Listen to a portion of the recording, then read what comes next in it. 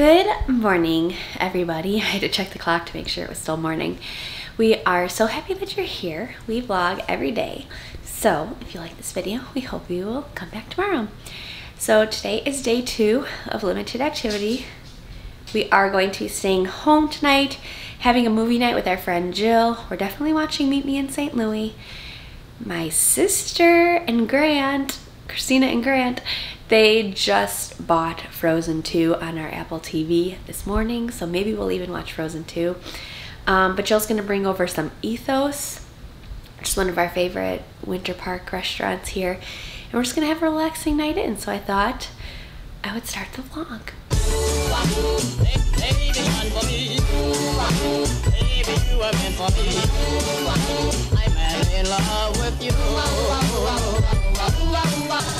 So now that I am pregnant again, I am going to really focus on getting a bunch of really good protein in. Um, and so I'm going to start my days with avocado toast. I'll probably only use half of this. Um, maybe eat the other half later. And I'm gonna, honestly, I'm gonna try to eat like an avocado a day because avocado is so good for everybody, but especially for somebody who eats plant-based. Trying to get all that, those fats and proteins and whatnot in my diet avocado is perfect for pregnancy. It's even been like in all of our infertility struggles, we've heard that it's one of those things that if you eat, it really does help you get pregnant. So I'm gonna do it because it's delicious, but also because it's really good for your body. My trusty little dog. She's always my little sous chef. So here's how it looks. I just mixed in chili powder, Tajín, and salt today. I don't have any limes right now, but the Tajín that I have has like the hint of lime. I knew she'd bark. Um, and so yeah, I'm gonna eat this. It'll be filling and delicious and take my supplements for the morning and start and start my and start my work for the day. One last thing I did add was just some Tabasco on top. Oh. Alrighty, so the vlog is exporting, so I'm just taking some couch time. Um, I do have work I have to do, which is fine.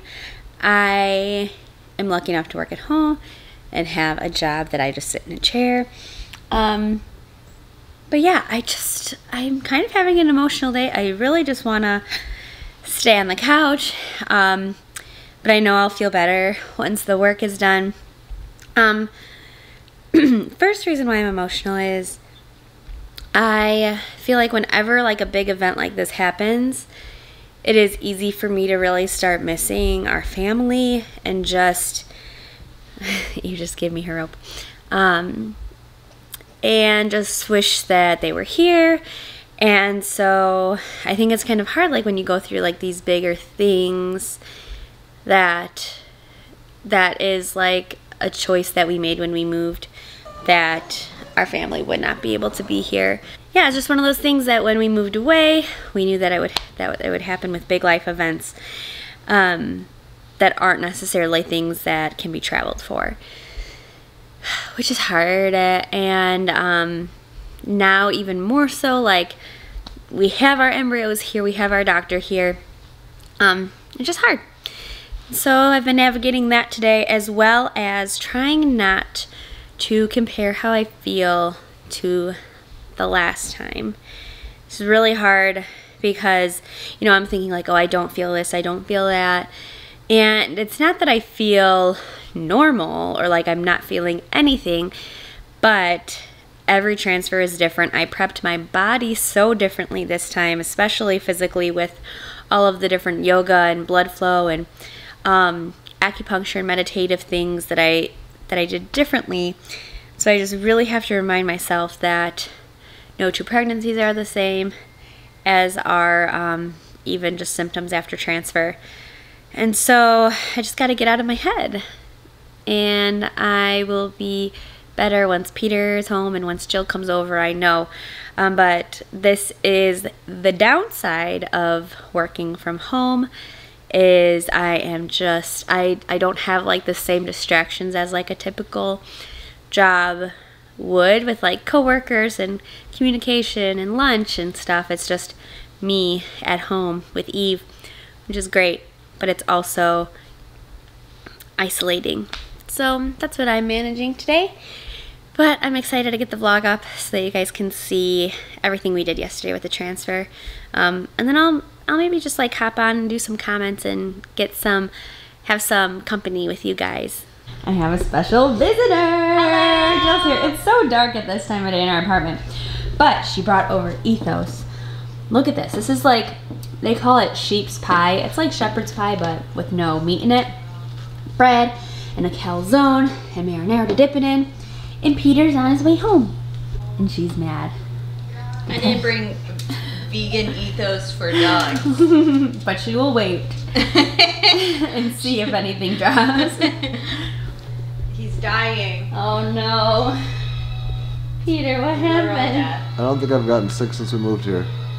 I don't think you have either. I got sick a ton when we first moved here. And the one day after the doctor said Sarah can't get sick of a fever, I haven't run a fever, I think, in 10 years. Probably since you had, uh, what, what's that? Mono? Kissing disease, yeah. Mono? Uh-huh. Well, I didn't feel good after work, so I went to the CVS and I looked for a mask wrap, but I couldn't find it. I got a thermometer in Zicam, and on the way home, sitting in I fought traffic, being a little brat, crying to myself. I took my temperature and I have like a 104 he said degree he fever. blew his temperature, FYI.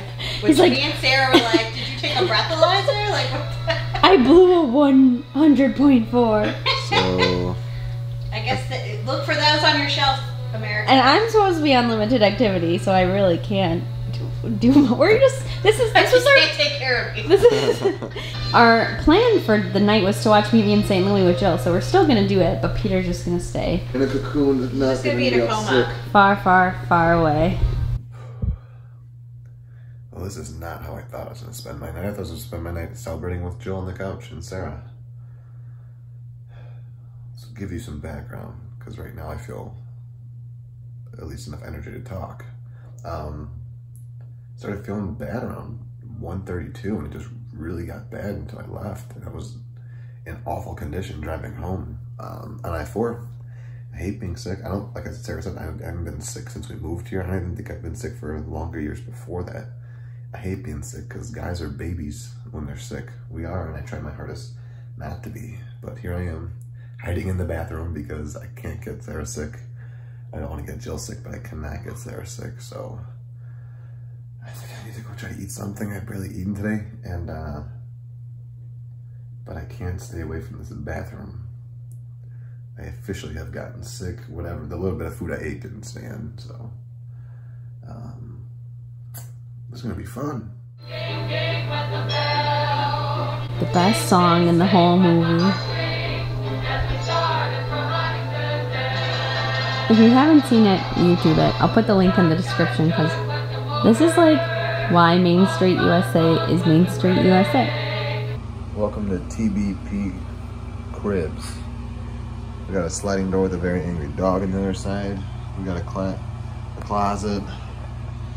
We got bread. I'm a, probably not a smart idea for me to eat this half of the calzone, but I have not eaten all any today, so I don't even know how I got sick. I got nothing in my stomach. That bread might be it, or this this bread, but then this is my pillow, this is my blanket. Cupboards up there to the bathroom. I love this hideaway door. I don't know if, how often we show it, but it's a sliding hideaway door.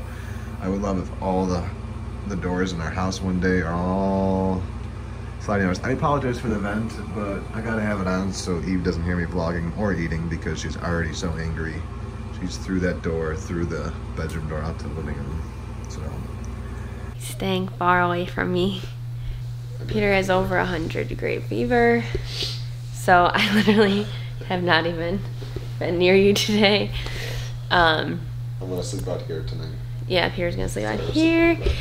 I know that the risk of me having a temperature was more so like if I got an infection. Right, I think that was the but we still don't wanna Right, we still don't want me to be sick. And plus, um, another thing that like I'm not supposed to do for the next two weeks is like no hot tubs. Well, I think that even when you're pregnant, like no like soaking in the tub. Like they don't want your core body temperature to get hot, and so we really don't want me to have a fever. Um, I mean, fevers aren't good regardless. So, I don't know. You'll probably have to go to the doctor alone tomorrow. Yeah, depending on how I feel tomorrow. Right. It's like- Peter got the flu shot this year, but I didn't because of me Right, but it's like Being pregnant. Flu, is this a cold?